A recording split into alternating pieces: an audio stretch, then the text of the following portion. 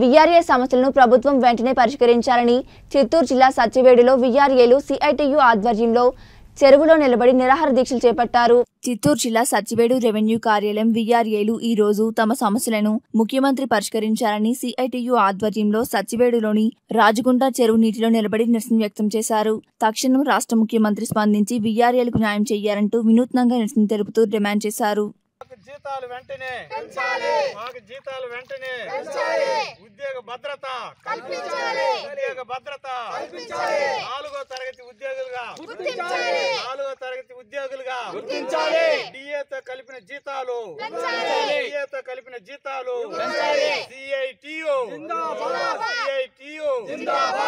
అయ్యో ముఖ్యమంత్రి గారు మా మా మా సమస్యలు వెంటనే అయ్యో ముఖ్యమంత్రి గారు మా సమస్యలు వెంటనే టీఆర్ఎస్ సమస్యలు వెంటనే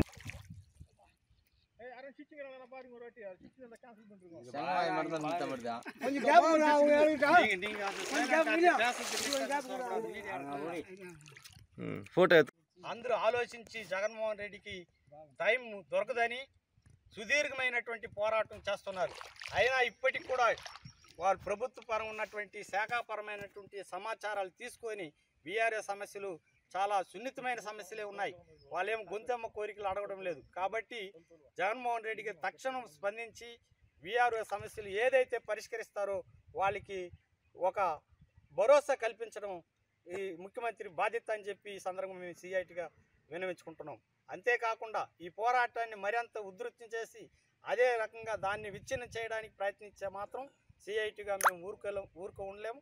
అదేవిధంగా వీళ్ళ జీవితాలు పూర్తిగా ఈ ఉద్యోగాల మీద ఆధారపడి వాళ్ళ జీవనోపాధి కోల్పోయే పరిస్థితుంది. కాబట్టి కొత్తగా పెట్టినటువంటి సచివాలయం అన్నిటికీ సచివాలయం పేరు పెట్టి ఇటువంటి పనులకు పూనుకోవడం సరైన పద్ధతి కాదు.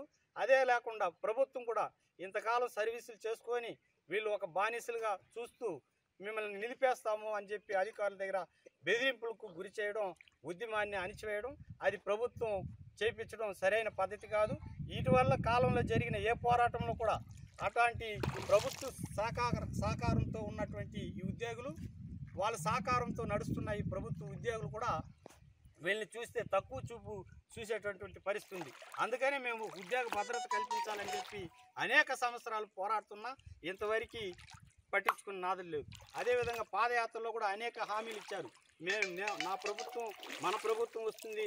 ఆ ప్రభుత్వం ద్వారా మన అందరి సమస్య కూడా పరిష్కరిస్తానని చెప్పి ఆ నమ్మకంతో జగన్మోహన్ రెడ్డి గారిని ముఖ్యమంత్రి చేసి నూట యాభై ఒక సీట్లు ఇచ్చినటువంటి ఘనత అందరి ఉద్యోగులపైన కార్మికులపైన